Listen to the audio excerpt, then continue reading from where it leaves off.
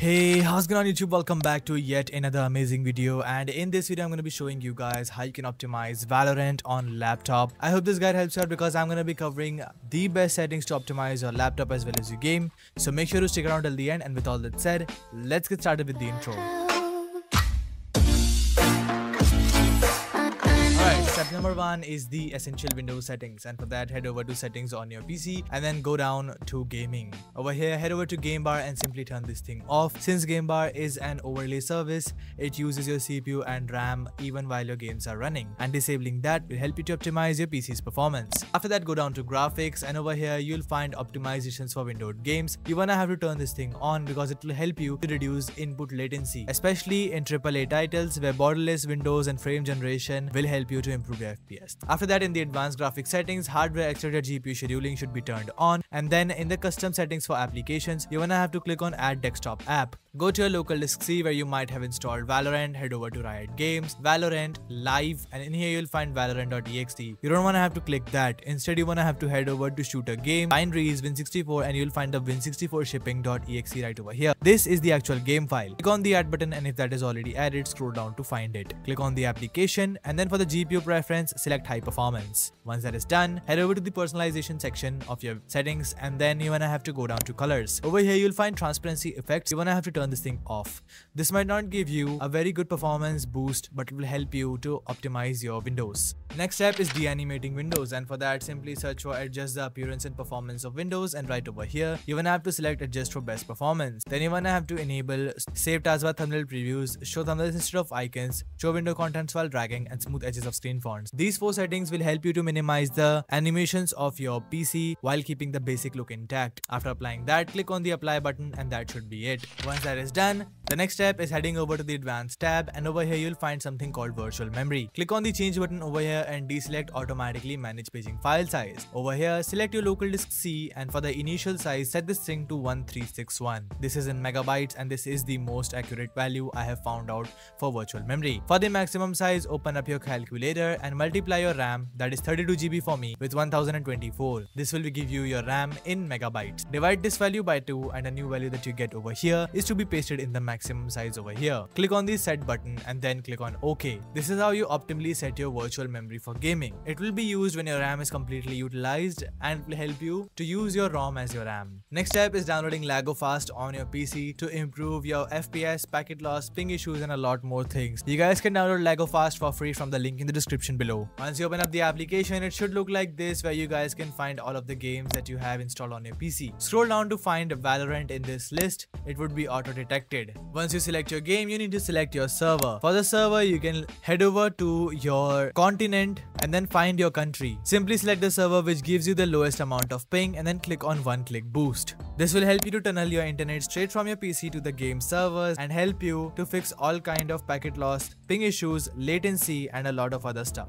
The best part about LagoFast is it also has FPS boost features which are currently being utilized over here. Once that is done, let this application run in the background because it is still boosting the game. It is that simple. LagoFast is trusted by 30 million users worldwide and it helps you to smoothen your game experience and improve your FPS drastically. I would recommend you guys to go check out LagoFast from the link in the description below and download it for free and boost your in-game FPS right away. Next step is creating a restore point and for that simply search for create a restore point on your PC and after that look for local disk C. Click on the create button and name it Val just so you can remember it. I highly recommend you guys now to skip this step if you want to restore all of your settings back to normal without any kind of data lost. Once that is done, simply click on the close button and then close system property. The next step is Valorant laptop optimization pack. I'll be leaving a link to this down in the description below. You guys can find 6 simple folders over here. Let us start with the first one that is CPU priority. In here you'll find AMD CPU priority as well as Intel CPU priority. If you guys have an Intel CPU like me, you can double click and apply the Intel CPU priority. And you can do the same with the AMD CPU.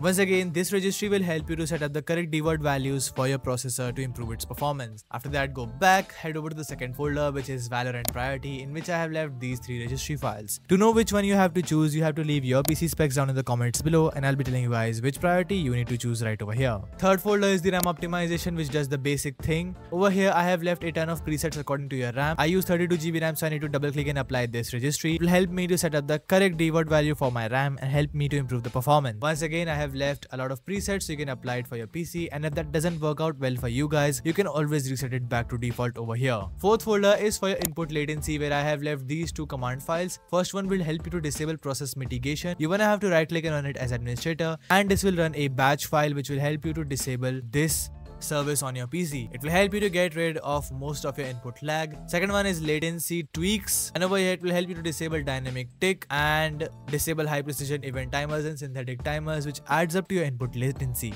Simply right click on it as administrator and once that is done go back. Fifth folder over here is the useful programs in which I have left these program files over here. Let us start with the first one that is clean temporary files.bat. You wanna have to right click on it as administrator. Once this window opens up you wanna have to press any key on your keyboard and this will delete all temporary files off of your PC. It is always advised to do this every now and then to improve your PC's performance. Next one is process lasso and to depict that I would open up Valorant in the background. What you guys have to do is simply install process lasso Lasso on your PC. Alright, as you guys can see now, Valorant is running in the background and we are using Process Lasso over here. What you guys have to do now is head over to the Active Processes tab, scroll a bit down until you find Valorant in here. Right over here, it is Valorant Win64 shipping.ext. What you guys have to do is right click on that and then head over to CPU priority, click on current and set it to high. Once that is done, you can minimize this application and it will help you to optimize the performance and improve the priority of Valorant. Next thing that you have to do do is install Quick CPU on your PC and open it up. Alright, once Quick CPU opens up in front of your screen, you guys can see a very simple interface like this. What you guys have to do is select your power plan. If you have high performance available, select that. If you have ultimate performance available in this list, select that program and make sure to click on the active button. After that, you wanna have to see the core parking over here and if that is set to 0%, you wanna have to set this thing to 100% and other than that, all of these sliders should be set to 100%. That includes frequency scaling, turbo boost and performance. Once that is done, click on the apply button and this will ensure that your CPU is being utilized and you are getting the maximum performance out of your CPU whenever you are playing the games. Once that is done, you can go back. Last one is disable unwanted services and over here I have left some of these services which are really useless for your PC. What you guys have to do is simply double click to apply every single one of them to disable them on your PC and it will help you to boost your performance drastically.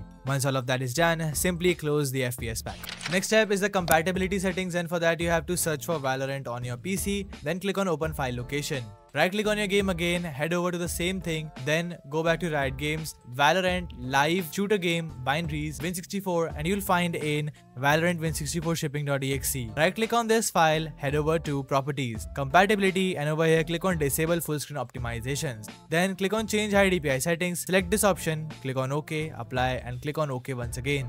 Once that is done, you can simply close this folder and now you guys can drop into the game. Okay, once you're in your game, press your escape key and then head over to settings. Right over here, go down to the general settings. Scroll a bit down until you find the raw input buffer and you wanna have to turn this thing on. After that, come down until you find the network buffering and you wanna have to set this thing to medium. Then go to the video settings and in the general settings for the display mode, go with windowed. And you guys can also go with full screen if you want maximum FPS. NVIDIA reflex low latency should be set to on plus boost. Then under the graphics quality, you wanna have to enable multi-threading on and then all of these quality settings to off vignette and vsync off anti-aliasing go with none anisotropic filtering 16x improved clarity you guys can turn it on or off. Other than that everything should be turned off. Once that is done you guys can now enjoy your game with the maximum fps possible. So guys that was it for this video. I hope i could have helped you out. If i could have make sure to leave a like and smash hit subscribe button because it really helps me grow the channel. We are really close to 250,000 subscribers and i trust you all. We'll see you in another amazing video. Until then stay tuned. Keep watching BareFox and peace out